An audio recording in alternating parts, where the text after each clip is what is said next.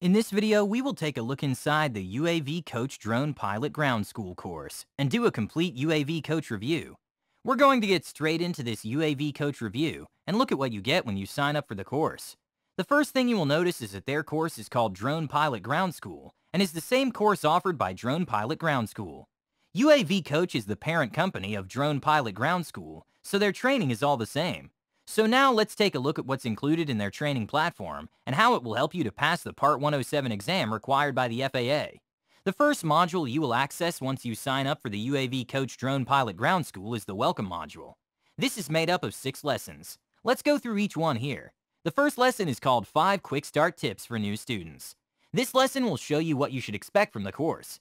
It will give you tips on how to make the most of the training. This lesson says that you should be willing to devote at least 10 to 20 hours of time studying the training. It also states that you should score at least 85% on one of our full-length practice tests before taking the FAA exam. The next lesson is called Download Your Test Supplement. Here you will download the FAA's Airman Knowledge Testing Supplement. You can find sectional chart maps, chart supplements, and other charts and data that you'll need as you progress through the course in the Testing Supplement book. Next, you will go to the lesson called Meet Your Instructor and Student Support Manager. Here you will learn about Alan Perlman, who's your instructor in the Drone Pilot Ground School UAV Coach course. Common drone industry terms is a list of popular industry terminology and abbreviations, which will be new to you during the course and practice questions. You will then see how to get help if you need it, and a way to browse the drone pilot knowledge base.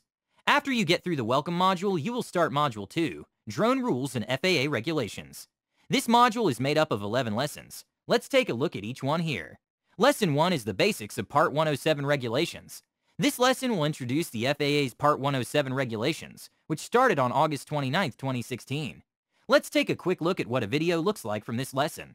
In this lecture, we'll be covering some basics of the FAA's Part 107 regulations, which first went into effect on August 29, 2016. Whenever these regulations are being referenced, you might see them written a few different ways.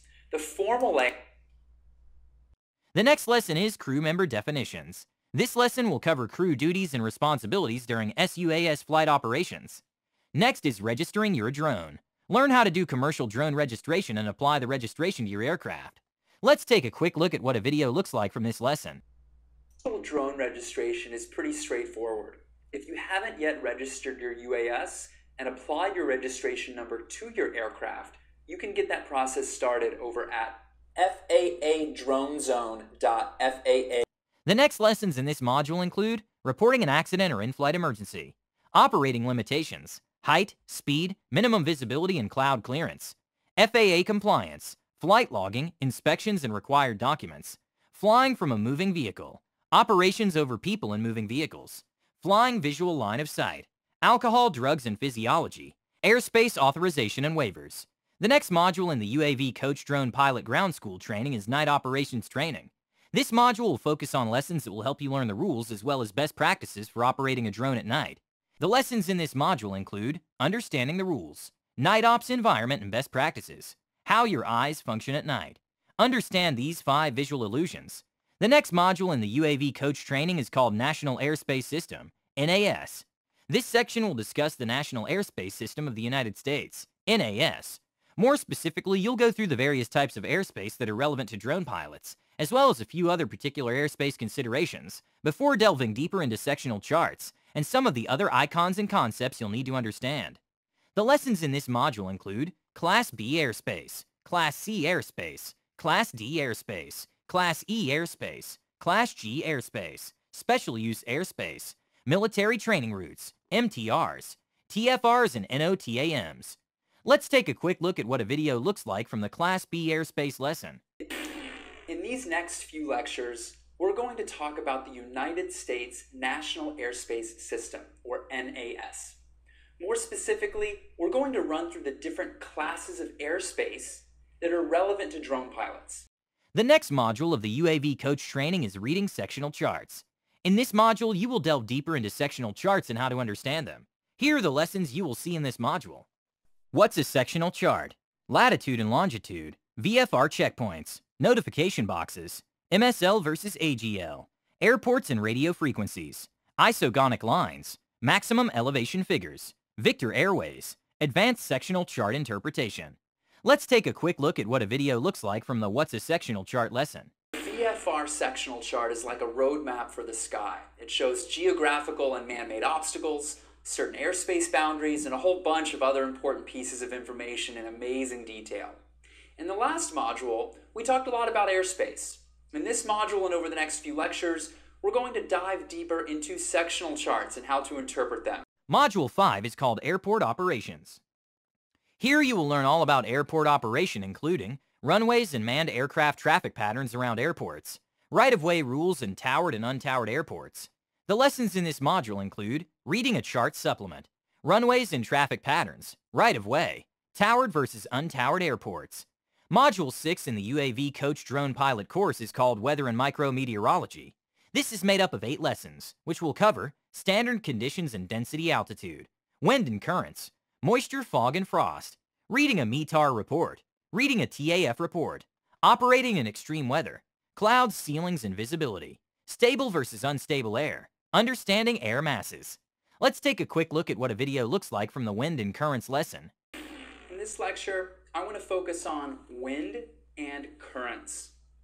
While wind patterns and the theories of circulation are radiate heat in varying amounts, plowed ground, rocks, sand, and barren land give off a large amount of heat. Water, trees, and other areas of another atmospheric hazard exists that can create problems for remote unmanned. Module 7 of the UAV coach training is called Drone Flight Operations and is made up of 13 lessons. This is a very in-depth and detailed section of the Drone Pilot Ground School course. The 13 lessons include hazardous flight operations, emergency operations, lost link procedures, LiPo batteries, aeronautical decision-making, ADM, Crew Resource Management, CRM, PAVE, I'm Safe and Decide models, hazardous attitudes, radio communications, UAS loading and performance, UAS maintenance and inspection, pre-flight checklist, remote identification, remote ID.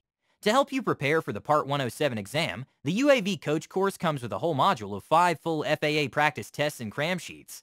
This is Module 8, and it will make sure you're ready to take the Part 107 exam. This module includes five full-length practice tests, cram sheet to see if you're ready to take the test, getting your FAA tracking number, FTN, and booking your exam, test day checklist, using IACRA to apply for your remote pilot certificate. Need a certificate of completion? Learn how to fly. Module 9 comes with seven bonus lessons, which include basic flight proficiency training, how to conduct airspace research, drone liability and hull insurance, pricing your drone services, Using drones to do real estate and property marketing. Ask a drone lawyer. Key legal considerations for starting a drone business. Aerial videography tips and training course discount. Then the last module is called Getting Recertified slash FAA Recurrent Knowledge Training. It will teach you how to take your online recurrent training and renew your FAA Part 107 Remote Pilot Certificate. As you can see, the UAV Coach Drone Pilot Ground School course is loaded with in-depth information all designed to help you pass the FAA Part 107 exam. You will also gain access to some amazing bonuses that will help you after you get your drone pilot license. The thing that's nice about the UAV coach course is that each lesson has a practice lesson that will make sure you understand what was taught. Another positive aspect of the UAV Coach Drone Pilot Ground School course training is that the lessons are video-based, but many have information you can read and download as well. The UAV Coach will definitely help you to be ready to take the FAA Part 107 exam. They even have a guarantee that says that if you do not pass your test on the first try, and have scored at least 85% on one of their practice tests, your FAA test fee is on them. And they will also refund you the cost of the Drone Pilot Ground School course. There's really nothing negative we can say about this training program. It is very good. The only minor thing we feel is worth pointing out is that the cost for the UAV Coach Drone Pilot Ground School course, which is typically 299, is a bit higher than Pilot Institute. Even so, we feel this course is an amazing investment, and you have little to lose with their guarantee. You can find a link to the UAV Coach Drone Pilot Ground School course in the description below this video. If this has helped, please consider liking this video and subscribing to our channel. To learn more, visit us at dronePilotSchooler.com.